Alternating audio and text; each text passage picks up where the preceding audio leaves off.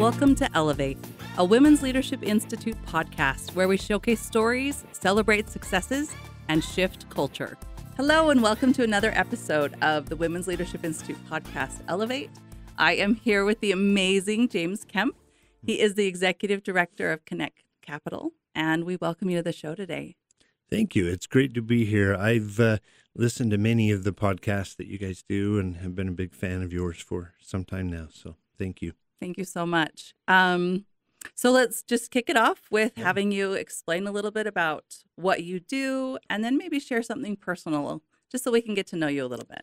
Sure, sure. Um, I, have actually been in the Silicon Slopes area in Utah for about uh, 35 years now. It makes wow. me feel really old when I say that, but um, I started way back in 87 at WordPerfect and then Novell yes, and then yes. bounced around to a few different places, then uh, Omniture, and then ultimately Adobe uh, mm-hmm. that acquired Omniture back in 2009. Yeah. And then I stayed for another 10 years. So I've been in the enterprise software area for quite some time. Um, and now I'm doing uh, something that's a bit of an off ramp for me. Okay. Um, you know, working with Connect Capital, we do, uh, we basically uh, search for businesses and founders that have really good ideas and we help them with with training and preparation, and that, and then we give them a, a, a voice or a microphone, and they are able to pitch their presentations and their businesses to uh, prospective uh, investors or to uh, people that might be interested in their product or service. So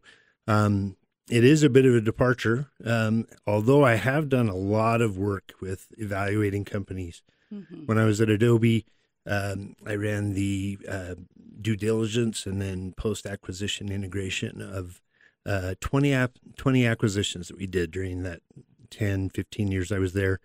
And, uh, but we did many more uh, diligence reviews, well over 100 diligence reviews of companies and uh, with the intent of trying to find the ones that fit best, that had the best business mm. model and that. So uh, I've actually had quite a bit of experience working with founders and trying to identify whether businesses have uh, have what it takes, so to speak, to uh, yeah. to be successful.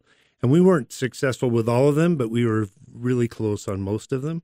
Uh, a few of them were home runs, and there were a couple strikeouts that we sure. did as well along the way. But uh, um, and, and, then I just have a passion for it. My father was an entrepreneur, okay. uh, pretty much his whole life, and so I kind of grew up around that and saw the good and bad side sure. of being an entrepreneur. And um, but I'm excited to be a part of this organization you know, 41 years of an organization is is a lot of uh, history, but it's also a, a, a, pretty heavy weight on your on your shoulders yeah. to make sure you don't mess it up. Yeah. So that's my my goal is to hopefully keep it going and not not screw it up. So, well, I love that you pointed out that everything has hits and misses, yes. or you know, just the yes. learning through it.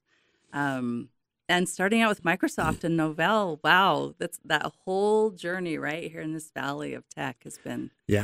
One of the I remember one of the worst days that at least we thought was one of our worst days was uh, when Microsoft kind of turned their guns on Novell and WordPerfect and and kind of ran us out of town. Um, and those two companies uh, kind of uh, went away, you know, with the with the wind, so to speak. Um, but I actually think it was one of the greatest things that could have happened to this mm. area. Um, there were literally thousands of employees that needed to find new uh, new work, and many of them started their own businesses. Started their and own, so yeah. I kind of think about it like the those dandelions that have the, all the white seeds yeah, around yeah. them, not the orange ones that everybody sees in their lawn, but the other ones. When you blow those seeds, they go everywhere and they just start uh, and that's kind of what happened with uh, with this uh, Silicon Slopes arena, and it really led to a lot of the success that's come from that. So, I had never thought about it like yeah. that, but I can see that. How interesting! Yeah, yeah very cool. Um, okay, so let's talk about. Some people have said that in the startup space, you have dramat- dramatically changed the landscape. And as you've become the executive director of Connect Capital, um, I'm interested in your perspective on one of the hardest ways of shaping a company into a fundable entity. Like you talked about your experience of, right, bringing people into the corporate space and seeing if they were a fit. And now with Connect Capital, when people come pitch, what do you look for to see if it is fundable or if it will work?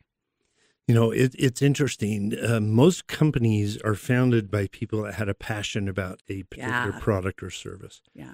Very, f- very few people just say, "I'm going to start doing this," and you know, out of the blue in some other uh, different arena.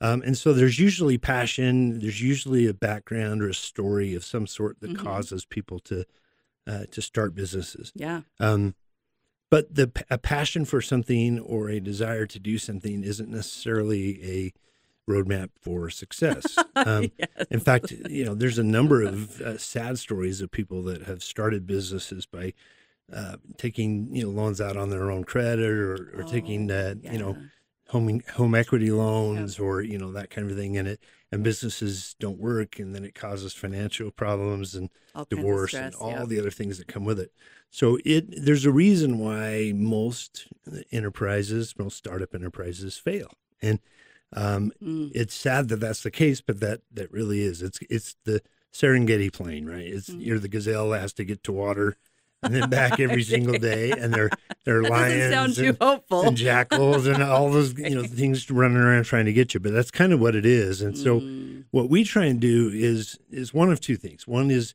we we try and help the individuals to fail quickly which sounds bad but we try and help them understand that look this may or may not be the right thing for you or the Mm. business model it may not be a good thing and that sounds crazy that you would do that but sometimes the biggest gift or the greatest gift you can give to someone is before they go down that road Absolutely. kind of head that off and say, you know Yeah. what, this maybe isn't quite the business either for you or it's not really a business that's marketable or, you know, the ability to make it work. Because just because it's someone's passion doesn't mean that they are going to get money for their passion. Exactly. Mm, And and that their passion will be what other people have a passion for. That's right. So their success uh, may may not be tied to this particular venture that they're going Mm. through.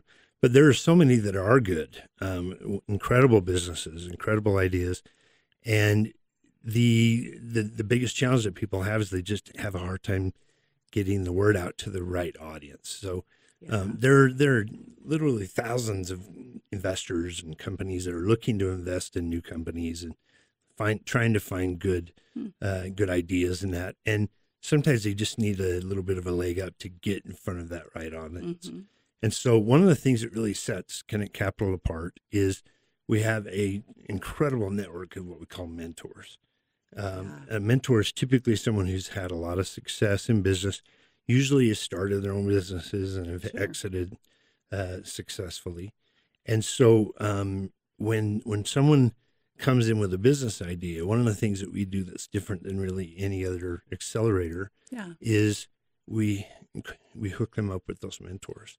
And normally these mentors would Mm. charge a significant rate. You know, they're all successful businesses. They, they either have financial backgrounds or whatever. And Sure. so to get access to this group of people, it, it would be very expensive under normal circumstances.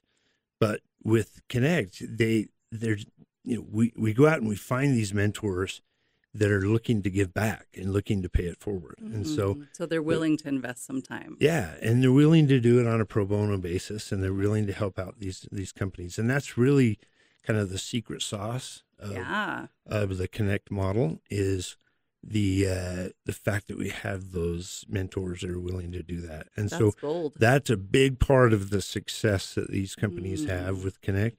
And over the years, I, was doing some research this week. Um, over the 41 years that we've been doing uh, what we call investors' choice events, which are these annual events, over 500 companies have pitched on stage at at these events, and about 26% of those hmm have received funding. Mm. And so, and, and and these are the all the rock stars of Utah. Yeah. right? Uh, in fact, uh, Josh James and John Pestana presented on stage. Uh, Jan Newman and Greg Butterfield. Uh, so there's a number of companies out there that have really had success that were Mhm. on stage as young founders looking for, uh, you know, that that big break. And, and so it's a it's an incredible organization. Okay, so tell me, for those of us who don't know, tell me the difference between the your pitch competitions and the mentors. So is how they get into mentorship is so I go, I pitch, and then if they're interested, then they start to men- mentor me and invest or It's actually uh, it's actually the reverse of that. Okay.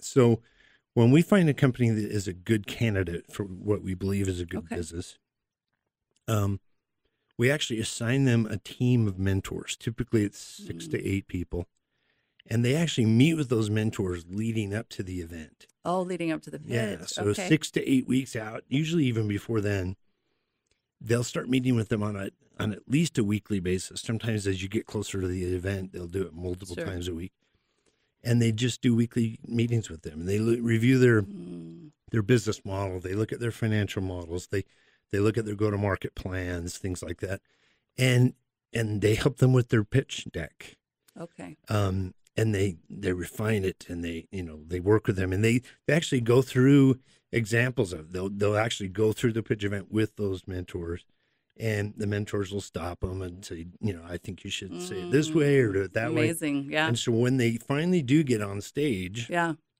they they have had significant experience and their their comfort and their confidence level is at a high Yeah. because they've been through that process. And so, and in fact, in most cases, those those mentors are in the green room with them right before they go on stage, and then they're able to celebrate that success afterwards. Um, we had 21 founders on stage at our event in April, and it was so fun to see the green room with all of the mentors there. And Mm, it was almost as if um, the founder's success is what the mentors found success in as well. So it was, it's really kind of a a pretty incredible recipe of uh, of success over the years. yeah. Um, and I think that most of what I hear is people who want people who've been there. Yeah. Right? You've done this. What does this look like? You know, I have an idea, this, this, and this. Um, I went to my first pitch competition and watched it in April, and it was really amazing. Just, and they were all so different. The pitches were also different in how they presented, whether they focused on finances or whether they focused on the product or the market. Um, it was really interesting to see people pitching. Yeah. What what in your opinion makes a great pitch? Um, I, you know, I think it's it's like everything else, right? And it's becoming even more and more important now with our with our devices and the things that make it our our attention spans are are rapidly shrinking. Um, you know, For used- better or for yeah, it used worse, to be right? the goldfish. Oh, look, it's a castle. Oh, look, it's a castle. The, Yeah. the fish that swims around. That's kind of how our society is, and so they've Mm. got to have the ability to capture the hearts and minds of those individuals pretty quickly. Mhm. So, um, you know, we we had each of our presenters had ten minutes. Um, there's some people who said that's too long. It needs to be like five minutes. Um, and you would think that it would be hard to portray a message or build excitement around a particular company in that short amount of time. And I would say they really only have like one minute or even 30 seconds to capture the interest Mm. of the individual. Mhm. Um, investors, like everybody else, right? They um, they have a short attention spans. They're looking to move on. They're looking Yeah. to try and find the next thing. And if you lose them in the first few minutes, it's it's not likely you're going to get them back. You, you know, you may find them down the road at another yeah. event or whatever. So so people have got to capture those that heart those hearts and minds. And I think a few of them did a tremendous job. One of the one of the ones that we had talked about a very personal experience he had with a relative that had um, had sepsis and and nearly died. Um, Mhm. and interesting, my own daughter uh, was in a very similar situation Oh, and they didn't know what she had at first and so he has a business that does a test to identify sepsis and Oh, it's it's okay. it's back within i think 45 minutes whereas Wow. it used to be several hours Sure. or whatever and that could have saved uh, you know her some time she was fine she ended up making it but um but that was something that captured at least my attention Yeah, and i think a to lot of other people Mhm. um, and so you got to have that hook. You've got to have that that um, that's that story or that compelling reason Mhm. that captures people's Yeah. uh, attention. And then once you've got their attention, then you can talk about the financial piece and the go to market and and talk about what the return on investment would be for an investor. Sure. But they've got to believe Some in buy-in for the product or the service. They Mm. got to have you got to capture their their imagination uh, early. And does that go back to knowing your demographics, knowing who you're speaking to, or It who is, and- particularly you want to pitch for this specific? Yeah, thing? I think there are always particular investors that are are maybe a little bit more um, within your your target market. Um, and sometimes that's hard to gauge, you know, because at our event, we had about there were 400 some odd people that were there. 100 of them, at least, uh, you know, at least a 100 were investors. Um, but it's hard to know what those investors are interested yeah. in, and that. So it's, it is a challenge, and that's where I think uh, you mentioned this. I think there's some founders that hit the mark more than others, and that could have been just who the investors were that were in the in the space. Sure. Or it could have just been, you know, that their story or their pitch was a bit more refined or more mm-hmm. compelling. Uh, it's hard to tell sometimes, and sometimes you find it in very unique and unexpected ways. You'll be talking to somebody, you're, mm-hmm. you know, you you're you're at the movie or you're here or there, and you talk to somebody. You know, we're all very social people. Yeah. I am a huge introvert. I have been my whole life, what? but I've kind no. of forced myself. I've trained myself to to kind of uh, step out of that uh, that shell. But um, you know, entrepreneurs love to talk uh, about their businesses, yeah. and so sometimes it's just in a hallway conversation at an event or at some other uh, activity where you find somebody that might be a good potential investor. So. Yeah, uh, sales and the ability to get people on board with you is not like a one-time conversation in a specific place. It's an ongoing, yeah. You know, it's interesting. Uh, investors, friends of mine, have said the first meeting is only intended to get a second meeting, and the second meeting is only intended to get a third meeting. and it's after it's after you know, you know, a dozen or more conversations with an investor before they actually will bring out their checkbook and write a check. Mm. And so some people think you've got to close that deal in that first interaction really all you're doing is just trying to set up the second the interaction because nobody nobody that first meets you is going to give you money right out of the chute um, they're they're going to have to know about you they're going to spend mm. time with you sure because they want to know their investment is, is yeah. sound yeah so sometimes people i think try and go for the close on day one and that might be offensive really, yeah actually it is they say if you if you ask for advice you get money and if you ask for money you get advice and so um, that's good. So, I want you to say that again. That's really yeah, good. So, yeah, it's if you ask for money, mm-hmm. you get advice. If you ask for advice, you get money, and I it's because people just you know they're not they're not interested in that hard sell during that first yeah uh, interaction. That's really interesting because as I was so you know we also teach uh, a political development mm-hmm. series for women wanting to run, and we were talking to some fundraisers and they were saying that a, a, woman went in, kind of dodged around the question. Right, this was a big funder who mm-hmm. often mm-hmm. gave to political candidates, and uh, she didn't she didn't close the deal. She didn't ask. Yeah.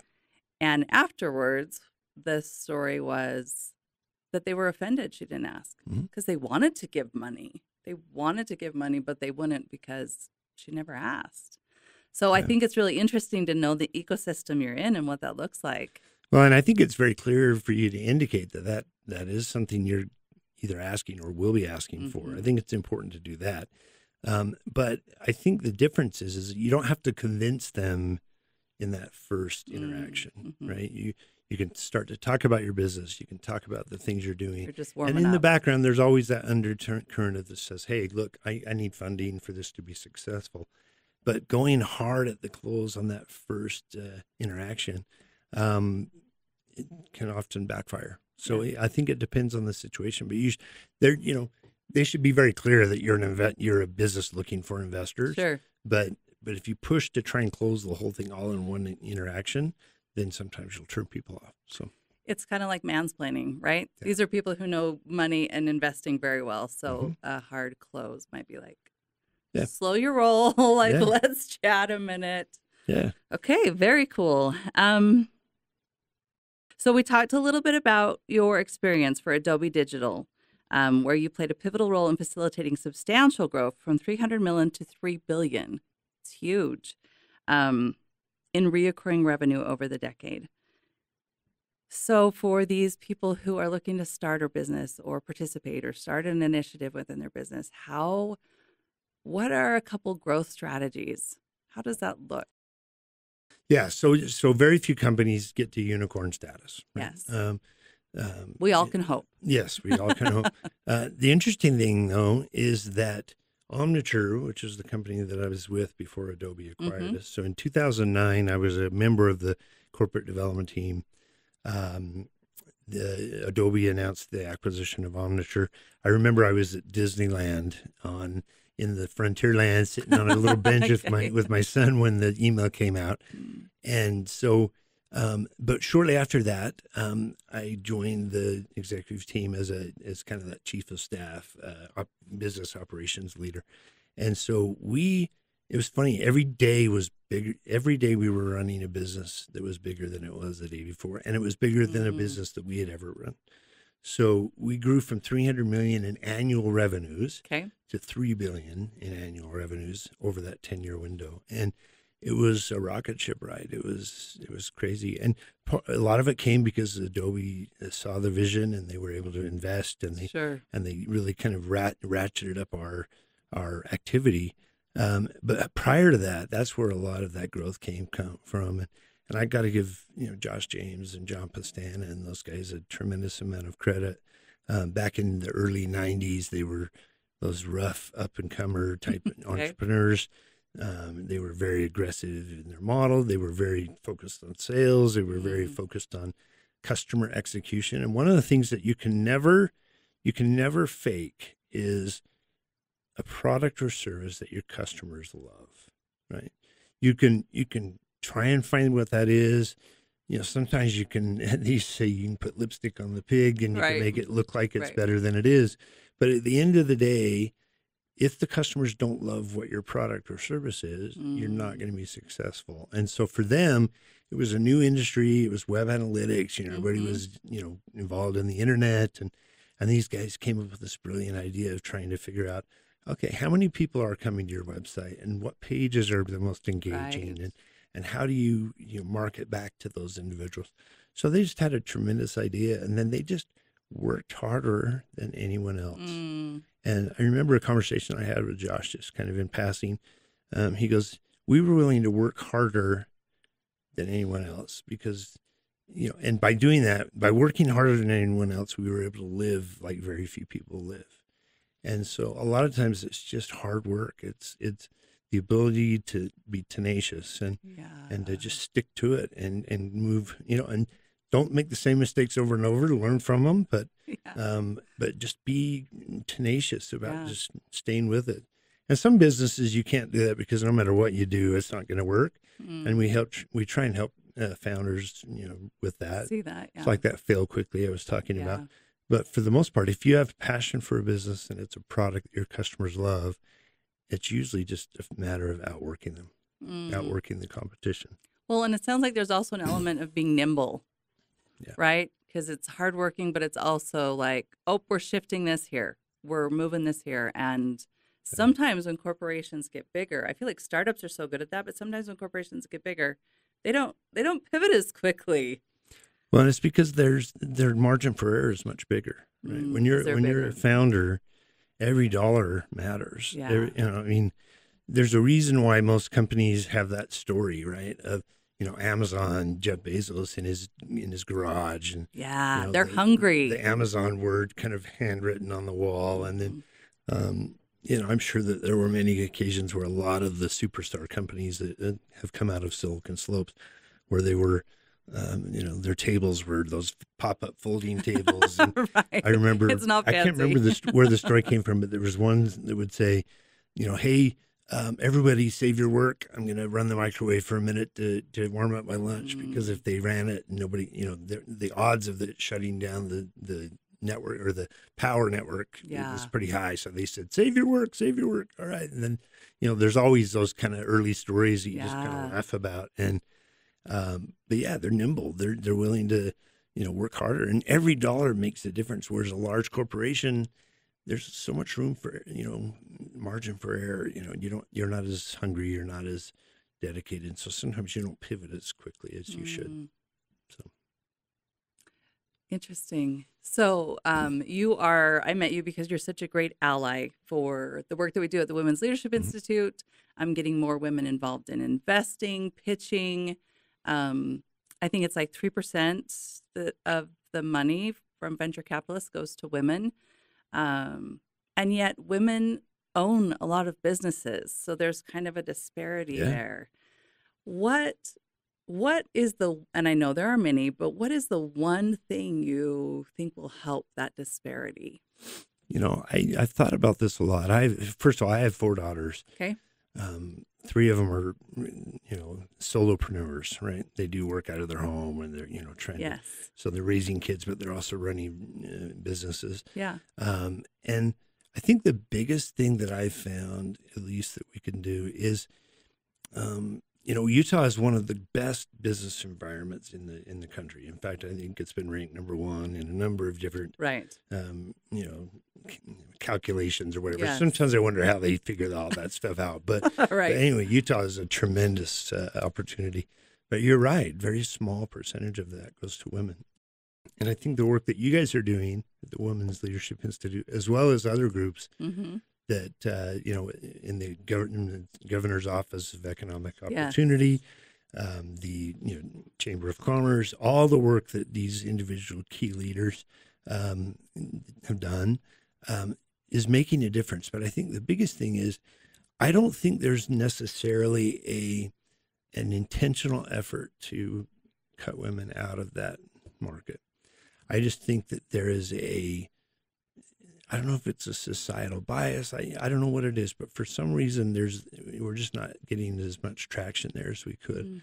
And so, I guess what I would say is that I think men in the community yeah. need to change. And and and I and I and we were we I think we met a week or so back and yeah. I talked about men are just dumb. We we just don't even know what we're what we're doing even impacts. well, I don't know that I'd say that men are dumb. Well, I think that I, they're I think they're, focused they're on very smart they, in some ways, but yes. in some ways they're just they're they're just accustomed to things being the way that they sure. have been. And so I think in in many cases it's just a matter of of getting people to think differently when it comes to that. Mm. And and you know, sadly some of the problem is is that um, you know, there's there's this feeling of hey, there's a good old boys network and that. Yeah. And I think in some cases there are. I mean, the investment communities, if you go to, you know, angel startup groups or whatever, a lot of them are there and they're just with all of the same kind yes. of people. Yeah. And so, you know, I don't think they intentionally say, hey, we're going to go into this event today and we're going to help the men, the male right. founders, and we're not going to help the women founders. But because they're surrounded by a lot of the same people and that, that, that kind of, um, you know, just thought process dominates those communicates those, yeah. those conversations. Um, and I think men need to step up. I, I, think we need to we need to be aware that there is an issue there, and we need to be aware that um, that maybe we're looking at things through that bias. And um, I may not be very popular if I say that, but I think that um, I think we have a a responsibility. Mm. And you know, I I've had a wonderful opportunity of working for companies that have very good diversity. You know, Adobe is one of the greatest companies yes. when it comes to that. Um, probably half of the people I worked with uh, were considered to be in that minority class, women and people of color, etc. Mm-hmm. And and I just think you know you almost just get used to the idea that they're just part of the organization and they're just part of the success. Yeah. yeah. Um, and so I think it's kind of a mindset as much as anything. And, and I guess I would challenge uh, men in those those roles to to question their thoughts and, mm. and you know that kind of a thing. And I, I don't know what the best option or best decision is to make yeah. that happen, but I think we've got some work to do. It's interesting because often my co host is Chris Jenkins, who uh, is a startup founder with Mobly. And we've talked about the fact that when you're just starting, like you get your friend, you get your best friend, you get who you went to college with, you know, like people very similar to you yeah. to just start running and building this thing. And so there comes a point when you're like, wait, we need to have some women on our team. Where do we, we need some minorities? But where that happens as businesses grow is really up to the company, right? Especially in Utah, it's not regulated, it's not mandated, it's just up to the company. But I do think it's easier for those founders and startups to pivot than larger mm-hmm. corporations. Um, do you know about the state startup initiative that is mm-hmm. just? Um, yeah. I'm interested in if you'd ever think it'd fly with the business community to put something in there like, do you have a, if you reach I don't know what the number is, 20, 50? Do you have a woman uh, in your group? Do you have a minority? Like, I don't know. What do you think? You know, I there's there's a lot of debate about Yeah. the best way to fix that that Yeah. issue, right? Um, and I'm not a politician. Um, I don't know the best way to solve things, but I do know this: um, we tend to uh, um, associate with people that are similar to ourselves, and um, it it it is it is difficult to break outside of that sometimes, and so um, I think that there is a need for us to change the way we think about about that. Hmm. One of the nice things about Adobe, and really even Omniture before, was a lot of my colleagues were were women, and I didn't even think about that. I didn't even, you know, I didn't even think, oh well, we have there's four women, and Mm, it wasn't like a task. Yeah. it wasn't wasn't like that, and it just kind of came. But you know what? Adobe worked really hard to get to that point. yeah, it's got to be and- deliberate. Yeah, it's got to be. And I guess what I would say is that it it's sad that we have a society where that's still an issue, it's still a struggle. Um, I think we need to admit that that's the case, and I think we need to try and address that. Yeah. Now, I don't know if um, affirmative action or things of that nature are the best way to do that. All, all I know is some of the most talented people I've ever worked with were considered to be part of that minority class. Um, and I, I got to the point where I, I didn't even think about it. Yeah. Um, and so, you know, I don't know how we do that. I think there's programs that could work that could help with that. One thing that we are very proud of Yeah. is of the 21 founders, I think half were women, and we actually had four uh, people of color that presented. Um, you know, whether it's happened on purpose or it's happened just by accident, um, Kinect Capital has been very successful in having um, lots of different uh, groups of people Yeah. involved in the process. In fact, we have a, a big event coming up later in the fall called We Rock Yeah. Tell us and about We um, Rock. yeah, so it, it's basically the Investors Choice event that we did in April. Mhm. It was 21 founders, men, women, people of color, and we had we had 500 people register. We Mhm. had about 400 people that attended, um, and we had 21 people on stage for 10 minutes each Yeah. and then we had a spin room where they could come and talk to them and all that. We're basically going to package that exact same thing hmm and do it in September, September 19th. And it's going to be only women founders. Now, the people in the audience will be men, women, investors, you know, all that kind of thing. But on stage, it- will be exclusively women founders. Um, now, some people say it's a gimmick or you know whatever. I I don't care. It Doesn't matter to me. I don't care what they say. What I, what we're trying to do is help uh, a group of individuals that have Mhm. been underutilized and under um, not visible as much as they should. Yeah. And so, by us doing this, we're hopeful that we can start to kind of stem that tide. Yeah. And yeah, it's obvious. I mean, we, we're not we're not saying, oh, it's just by happenstance. Twenty of our founders were all women. No, we're going after do it that, as yeah. a women's event. We're also doing a veterans event. We're also doing Oh, some other things like that. So some of these other groups that are kind of less less advantaged, or whatever you want to call it, they're- they don't have as much of an opportunity. Yeah. I think that we, you know, groups like Kinect Capital and others can make a difference and and not even apologize about it. Just say, yeah, we're just doing this. And Mhm. and uh, it was very successful last year, um, and we're excited about it coming up in September. Thank you for your work in doing that. Yeah. I really appreciate that. Some of the things we talk about on the podcast are leadership at some point becomes about visibility, Mm-hmm. right? And so this is operate this is offering those women or veterans or whoever else hasn't had that platform to get the visibility they need to see if their ideas will work, right? Because like you said at the beginning with Kinect Capital, sometimes you don't even know who to connect with or what the next step is to Mhm. see if it's viable or how it might be viable. Um, are the women ever nervous? Sometimes we need to talk women into claiming the mindset of like leadership and Yeah, I, I think you know, everybody's nervous. You know. yes, of Uh, course. I, I tell people that um, there, there's this there's this illness that's just hit Utah called entrepreneurial itis, and it, the symptoms the symptoms are um, unrealistic optimism and the Mm, random psychiatrists where you're on the on the you know the train or on the plane or whatever you're t- always talking to people about your business. Sure. you you have high expectations that are not really even rational in many cases Um, you you spend all of your time in a room with either yourself or a very small group of people. Um, so you're socially, you know, awkward. You don't really talk to anybody other than your business. Okay. Um, you know, so so people that do entrepreneurial type activities are kind of crazy anyway, right? Because people Mm. are like their families like, why why don't you just get a job like Sure. Johnny did? Yep. You know, he goes to work every day and it's Then you could 40 be home at and he's on five. And, yeah. And you seem to be working really hard, long hours, and for nothing. So you know, it is people in this kind of uh, environment are a little, little uh, mental anyway. And you mean that in the Uh, best way. Yes, in in the best way.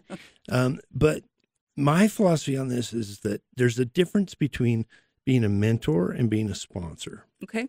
Um, a mentor is someone who will give you advice and give you counsel and help you. Yeah. We have a tremendous mentor group of people that do that. A sponsor is different. A sponsor will will promote you and talk about you and Mhm. drive your and try and drive your success Yeah. when you're not in the room. hmm A mentor will help you prepare for that. And a mentor can also be a sponsor, don't get Yes. me wrong. Right. But a sponsor is someone who's willing to promote you and to talk about you and to um, to give you uh, a leg up in that in a room where you're not there. Yes. Or might not have access to. Yes, Mhm. and and that that is a unique situation, and it's something that a lot of people aren't willing to do. It takes there's a risk. Hmm. There's not much of a risk of being a mentor because most times people don't know that you were mentoring someone. Right. A sponsor, if you're in a boardroom or you're in an executive team room or whatever, and Yeah. you you tout or you promote someone, that's that's taking a risk. Yep. That that's that's going beyond just trying to help someone. That's actually putting yourself on the line. Using your social capital. and and we need more people that are willing to be sponsors. Mm. Um, and and I think the more we do that, the more Mhm. people will be comfortable doing that. And that to me is a big shift. That's the- huge. That's a change that we that we need to promote yeah. and talk about more. So I really appreciate that. And I can see how they're different. I feel like we have lots of mini groups working towards mentorship with women and claiming those things and coaching and feedback. And it also takes um, those sponsors, right? In those rooms where decisions are made who are willing to say, no, let's take a chance on this. Um, and then the women also being ready to say, absolutely, I'm ready to step in. And, and yeah, yeah, I mean, you, once you get a chance, you've got to nail it, right? Yep. It's like a comedian, you know. Somebody has to help you to get on stage, but once you're on stage, you've It's got all to. yours. It's either you're going to get laughs or you're going to get heckled. Yeah. so you know this is this is not just a you know and i think that's where the difference in some programs that are like you've got you've got to hire somebody you've got to do this or whatever Yeah. i think that those programs sometimes don't work because the the best people don't always end up getting promoted by those Sure. initiatives Sure. However, you can not mandate, but you can you can kind of drive towards getting people opportunities on stage, um, and they may win and they may do a great job, and they Yeah. may not. They may, you know, they're of those twenty one founders. You know, I think probably five or six of them probably nailed it. And they've already, it's so fun because they've actually, some of them have Mm. actually got fan funding and that as a byproduct. Some are, you know, probably the majority, you know, did an okay job. They didn't hurt themselves, but they also didn't maybe help themselves as Yeah. much as they could. Yeah. And there were two or three that really struggled and and you know, had a hard time and were nervous and Yeah. that kind of thing. And so, you know, once you're on stage, you got it. It's got it's you, right? Yeah. But to get on stage, that's where the hard part is. hmm And you know, giving people that opportunity, that's something you can not mandate, but you can drive towards. But Yeah. But having people stand on their own two feet once they're on stage, Yeah. that's the Serengeti plain, right? You know, right. you know, Absolutely. are you ready? Are you prepared? Have you done the work? Because you don't get very many opportunities on stage. If you bomb, then you know, and that and that's just the reality, It's right? just the That's- reality, just the reality. yeah. If you if you do if you don't do well, it's gonna be hard for you to get another opportunity. Um, I think those those uh, founders that were on stage that maybe struggled a little bit. Um, I don't think anyone bombed. I don't think anyone No. was not prepared. I think some were more in their element on stage. Yes. Um, but that's not necessarily an indication of success either, right? And some people are a little bit more introverted. Yep. They're a little bit nervous on stage. Um, I tell people that nerves are not a bad thing. That just means you care. Yeah. Right. Yeah. Um, and so I don't think you can ruin your chances, but you got to be ready. Mm-hmm. And and I think we can give we can mandate the ability to give people opportunities, but when it all comes down to it, they're the ones that have got to take advantage of that. Mm, excellent point. So it, you, know, Yeah. you can only do so much. I know that one thing that Pat has talked about since the beginning of the Women's Leadership Institute is that we are non prescriptive. We give you the principles, Mhm. we show you how they apply, but we don't tell you exactly how to implement them Yeah. because that's under your own leadership purview, mm-hmm. right? That's your own trial and error. That is your own workforce and you engaging with them. So it never can just be a checkbox because Yeah. change takes more than a checkbox. And I also love the idea that once people get the opportunity, maybe they step off the stage and say, that is not what I ever want to do again, right? Or maybe they're like, that was so great and I need to fix this, this, and this before I go on next time. You know, just the learning process that can happen through that.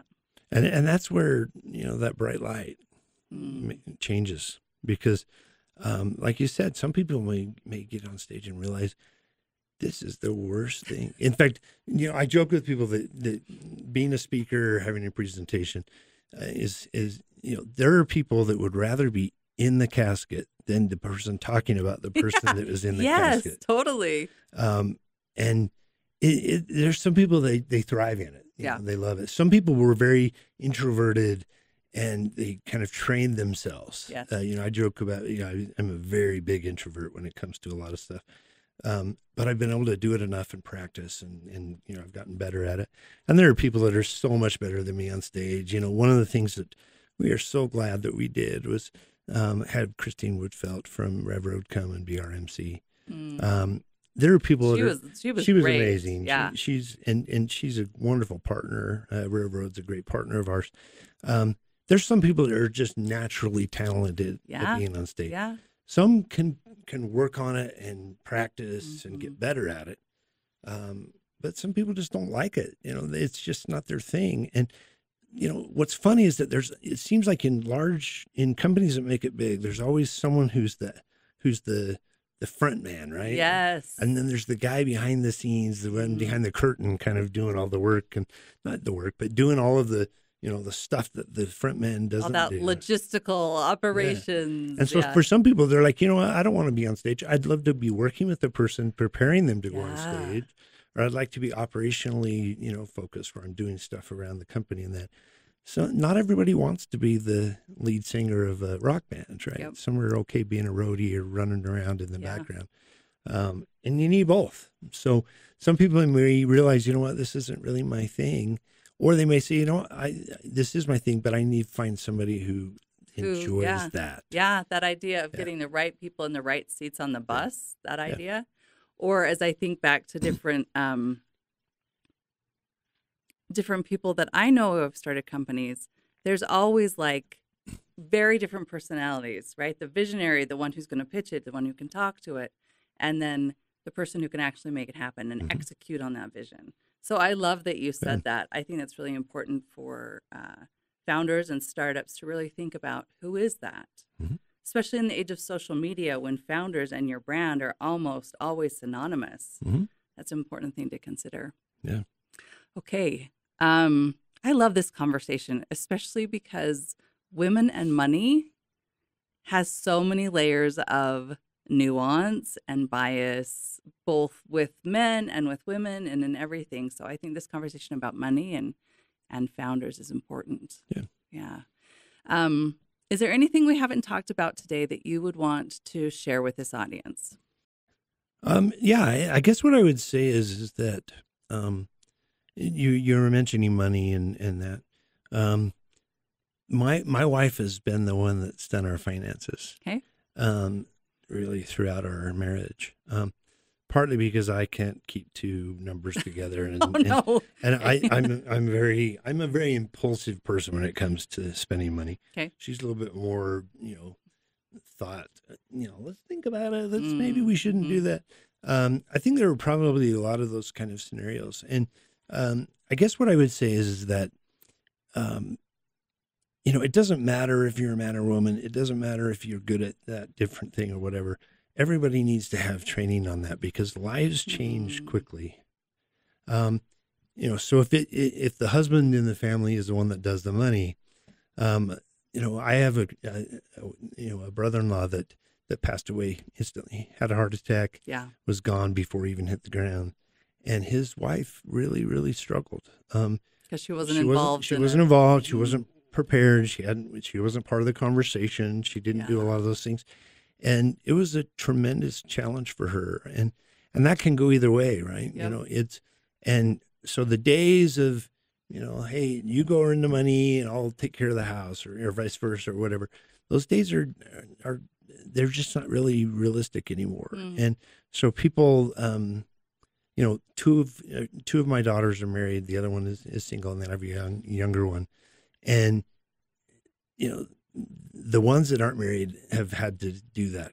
You know, that financial Sure. model. Um, and I think I just think it's important. And groups like the Women's Leadership Institute, um, people like She Money and She Yeah. Place, and and um, you know Anne Marie Wallace at the Women's Business Center, and that there there's so many opportunities out there for for people to get training and education Mm. around these things. hmm And I would just, in a parting shot, just you know encourage people. You don't have to go to WLA. You don't have to go to WBC. You don't have to go to She Money or She Place or any of these organizations. But find something somewhere that can help you Yeah. understand it because everybody's got to have financial training and education. Yeah. um, because otherwise you'll do dumb stuff and and you know you'll you'll you'll struggle. And and there's so many resources out there that can help you with this.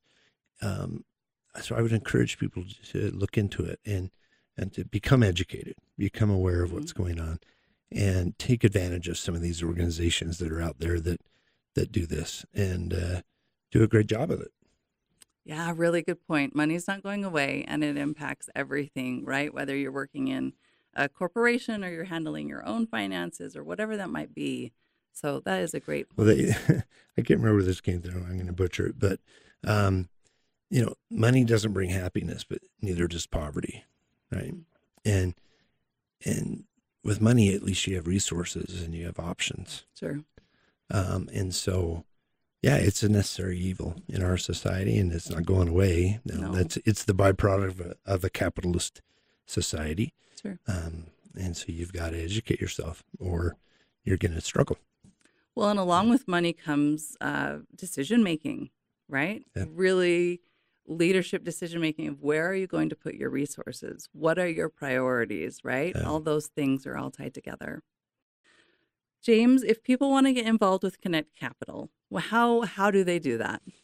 Um, so we um, we're we're always looking for three different types of people. Okay. The first is obviously founders. So anyone who has a business idea or or uh, you know feels like they have a they have a good business you know a, a, a good idea for a startup and they want help. Okay. Um, go to. And, and I, I, first of all, I hate our website right now. It's terrible, but it's the only way to, to get people to go. Um, it's it's Kinect Capital. It's spelled kind of funky. It's Yeah. K I N E C T Capital um, dot org, and so you can go there. And up in the top right hand corner, there's a little button that says you know engage with uh, Kinect Capital. Okay. Um, you can go there. So that's the first group is the founder group. The second group is the mentor group. Mm. Um, it's a group of uh, uh, people that they're looking to give back, and Mhm. we have 800 some odd people that have done mentoring over Wow. over those 41 years. Probably 350 or so are still kind of in the game, and 100 are very active. Um, so if you have an interest in doing that, hmm um, and I'm just going to throw this out there, just send me an email, james at kinectcapital.org, um, and we'll get you involved in that process. Um, and then the third group is investors. Um, Sure. and so same kind of thing. If you're an investor that's looking to attend some of these events, we we do a monthly pitch event at the Kiln offices uh, in Lehi. It's called Third Thursday at Three. Yes. Um, Ray Smithson is an amazing guy. I was Built reading this thing about from those. scratch. hmm Um, every month we do uh, four founders on stage giving their uh, building their uh, business or pitching their business. Um, and we can help you get involved in that process. Okay. So there's lots of different groups that, that are in, in, entailed, but we please don't hesitate. Uh, once again, it's James at kinectcapital.org. we'll send, put it in the show notes. Send me information and, and we'll get you involved. But we're doing some amazing things and and uh, all of it is because of people willing to either stick their neck out or help those people that have stuck their neck out or right. or help those people find people that are looking to put money on businesses like mm-hmm. that. So it's kind of that three uh, those three circles, I guess. Yeah, and Utah's really growing that way. So yeah. thank you for your work in this, and um, thank you for walking the talk. Like I haven't known you very long, but in the times that I've known and I met with you, you are very sincere and true to your word, and I've really appreciated getting to know you in that way. Likewise. So, thank you. Thank you.